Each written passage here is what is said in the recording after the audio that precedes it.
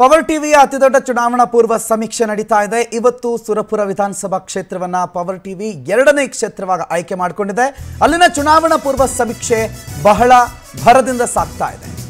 ಇನ್ನೊಂದು ಕಡೆಯಲ್ಲಿ ಸುರಪುರ ವಿಧಾನಸಭಾ ಕ್ಷೇತ್ರದ ಮತದಾರರಿಂದ ಅಭಿಯಾನಕ್ಕೆ ಭರ್ಜರಿ ರೆಸ್ಪಾನ್ಸ್ ಸಿಗ್ತಾ ಇದೆ. ಮಧ್ಯಾಹ್ನ ಎರಡು ಗಂಟೆಯಿಂದಲೇ ಸರ್ವೆ ಆರಂಭ ಆಗಿತ್ತು. ಆರಂಭ ಆಗ್ತಾ ಇದ್ದಂತೆ ಪವರ್ ಟಿವಿಗೆ ಕರೆಗಳೇ ಆಗಮಿಸೋದಕ್ಕಾಗ ಆರಂಭ ಆಗಿತ್ತು. ಪವರ್ ಟಿವಿ ಸಮೀಕ್ಷೆಗೆ ಮತದಾರರು ಸಖತ್ ರೆಸ್ಪಾನ್ಸ್ ಕೊಡ್ತಿದ್ದಾರೆ.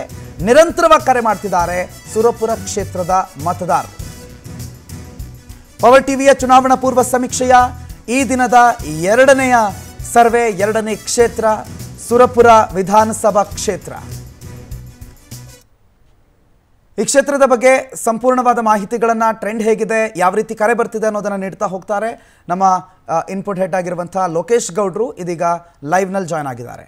ಲೋಕೇಶ್ ಗೌಡ್ರೆ ಯಾವ ರೀತಿಯಲ್ಲಿದೆ ಸುರಪುರ ವಿಧಾನಸಭಾ ಕ್ಷೇತ್ರದ ಸದ್ಯದ ಟ್ರೆಂಡ್? ಈಗ ಯಾರು ಮುನ್ನಡೆಯಲಿದ್ದಾರೆ ಕರೆಗಳ ರೆಸ್ಪಾನ್ಸ್ ಯಾವ ರೀತಿಯಲ್ಲಿದೆ? ನಿಜಕ್ಕೂ ಪ್ರಣತ್, ಕರೆಗಳ ರೆಸ್ಪಾನ್ಸ್ ಒಂದು ರೀತಿ ಅದ್ಭುತ ಅಂತ ಹೇಳ್ಬೋದು. ಪ್ರತಿ ಕ್ಷೇತ್ರದಿಂದ ಕ್ಷೇತ್ರದಿಂದ ಕ್ಷೇತ್ರಕ್ಕೆ ಹೆಚ್ಚಾಗ್ತಿದ್ದೀನಿ ಹೊರತು ಯಾವುದೂ ಕೂಡ ಕಡಿಮೆ ಆಗಿಲ್ಲ. ಪ್ರತಿ ಕ್ಷೇತ್ರದಲ್ಲೂ ಬೆಳಗ್ಗೆ ಒಂಬತ್ತು ಮೂವತ್ತಕ್ಕೆ ಶುರುವಾಗಿ ಸ ಮಧ್ಯಾಹ್ನ ಹನ್ನೆರಡು ಮೂವತ್ತಕ್ಕೆ ಮೊದಲ ಸಮೀಕ್ಷೆಯಲ್ಲೂ ಕೂಡ ಸಾಕಷ್ಟು ಕರೆಗಳು ಬಂದಿದ್ದವು. ಮಧ್ಯಾಹ್ನ ಎರಡರಿಂದ ನಾಲ್ಕು ಮೂವತ್ತರವರೆಗೆ ಏನಿದೆ? ಸುರಪುರ ವಿಧಾನಸಭಾ ಕ್ಷೇತ್ರದ ಸಮೀಕ್ಷೆಯನ್ನು ಮಾಡ್ತಿದೆ ಸುರಪುರದಿಂದ ಮಧ್ಯಾಹ್ನ ಎರಡು ಗಂಟೆಯಿಂದ ಬಹಳಷ್ಟು ಕರೆಗಳು ಬರ್ತಾ ಇದ್ದಾವೆ.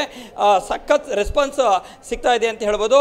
ಸುರಪುರ ಕ್ಷೇತ್ರದಲ್ಲಿ ಒಂದು ರೀತಿ ಪಕ್ಷಕ್ಕಿಂತ ವ್ಯಕ್ತಿ ಪ್ರತಿಷ್ಠೆಯಾಗಿ ಅಲ್ಲಿ ಕಾಳಗ ನಡೆಯುತ್ತೆ ಅಂತ ಹೇಳ್ಬೋದು. ಕಾಂಗ್ರೆಸ್ನ ರಾಜ ವೆಂಕಟಪ್ಪ ನಾಯಕ್ ಮತ್ತು ಬಿ ಜೆ ಪಿಯ ರಾಜುಗೌಡರ ಮದುವೆ. ಮಧ್ಯೆ ಎರಡು ಸಾವಿರದ ನಾಲ್ಕರಿಂದಲೂ ನೇರ ಹಣಾಹಣಿ ಜಿದ್ದಾಜಿದ್ದಿನ ಪೈಪೋಟಿ ನಡೆಯುತ್ತೆ. ಇವ- ಇವರಿಬ್ಬರು ಕೂಡ ಸಾಂಪ್ರದಾಯಿಕ ಎದುರಾಳಿಗಳು ಅಂತ ಹೇಳ್ಬೋದು. ಸುರಪುರ ಅಂದರೆ ಶೂರರ ನಾಡು. ಗೋಶಲ ವಂಶಸ್ಥರು ಆಳಿದ ನಾಡು ಎಂಬ ಖ್ಯಾತಿಯೂ ಕೂಡ ಇದೆ. ಇನ್ನು ರಾಜ ವೆಂಕಟಪ್ಪ ನಾಯ್ಕು ಪ್ಯಾಪಲಿ ಸಂಸ್ಥಾನಕ್ಕೆ ಸೇರಿದಂಥ ರಾಜಮನೆತನದವರಾಗಿದ್ದು, ಅವರು ಕಾಂಗ್ರೆಸ್ನಿಂದ ಪ್ರತಿ ಬಾರಿ ಒಂದು ರೀತಿ ರಾಜಗೌಡರಿಗೆ ಟಕ್ಕರ್ ಕೊಡ್ತಾರೆ. ರಾಜು ಗೌಡ್ರು ಯುವ ನಾಯಕರಾಗಿದ್ದುಕೊಂಡು ಅವರಿಗೆ ಅವರ ಮುಂದೆ ಓವರ್ಟೇಕ್ ಮಾಡಿ ಈಗಾಗಲೇ ಮೂರು ಬಾರಿ ಗೆಲುವನ್ನು ಸಾಧಿಸಿದ್ದಾರೆ. ಎರಡು ಸಾವಿರದ ನಾಲ್ಕರಲ್ಲಿ ಮೊದಲ ಬಾರಿಗೆ ಗೆಲುವನ್ನು ಸಾಧಿಸಿದ ರಾಜುಗೌಡ ಎರಡು ಸಾವಿರದ ಹದಿಮೂರರಲ್ಲಿ ಪಕ್ಷಾಂತರ ಮಾಡಿದರು ಅನ್ನೋ ಕಾರಣಕ್ಕೆ ಮಾತ್ರ ಸೋಲನ್ನು ಅನುಭವಿಸಿದರು. ಎರಡು ಸಾವಿರದ ಹದಿನೆಂಟರಲ್ಲೂ ಕೂಡ ಬಿ ಜೆ ಪಿಯಿಂದ ಗೆಲುವನ್ನು ಸಾಧಿಸಿದ್ದಾರೆ. ಈಗ ಎರಡು ಸಾವಿರದ ಇಪ್ಪತ್ತ್ಮೂರಕ್ಕೂ ಕೂಡ ಬಿ ಜೆ ಪಿಯಿಂದ ಅವರೇ ಕ್ಯಾಂಡಿಡೇಟ್ ಆಗೋದು ನಿಶ್ಚಿತ. ಮತ್ತು ಇಲ್ಲಿ ಜೆ ಡಿ ಎಸ್ಸು ಅಷ್ಟೇ ಆಟುಕುಂಟು ಲೆಕ್ಕಕ್ಕಿಲ್ಲ ಅನ್ನೋಂಗಿದೆ.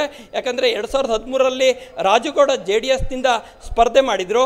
ಅಲ್ಲಿಂದ ಪ್ರಬಲ ಅಭ್ಯರ್ಥಿಗಳನ್ನು ಜೆ ಡಿ ಎಸ್ನಿಂದ ಇದುವರೆಗೂ ಹಾಕಿಲ್ಲ. ಹೀಗಾಗಿ ಕಾಂಗ್ರೆಸ್ ಮತ್ತು ಬಿ ಜೆ ಪಿ ನಡುವೆ ನೇರ ಹಣಿದೆ ಇದೆ. ನಮ್ಮ ನಮ್ಮ ಎಕ್ಸಿಕ್ಯೂಟಿವ್ಗಳು ರಿಸೀವ್ ಮಾಡಿರುವ ಕರೆಗಳ ಪ್ರಕಾರ ಕಾ ಈಗಲೂ ಕೂಡ ಕಾಂಗ್ರೆಸ್ ಮತ್ತು ಜೆ ಡಿ ಎಸ್ ನಡುವೆ ಜಿದ್ದಾಜಿದ್ದಿನ ಪೈಪೋಟಿ ನಡೀತಾ ಇದೆ. ಬಿ ಜೆ ಪಿಯ ರಾಜುಗೌಡ ಮುನ್ನಡೆಯನ್ನು ಸಾಧಿಸಿದರೆ ರಾಜುಗೌಡ ಹೆಸರಿನಲ್ಲಿ ಹೆಚ್ಚು ಕರೆಗಳು ಬರ್ತಿದ್ದಾವೆ ಪ್ರಣೋತ್. ಓಕೆ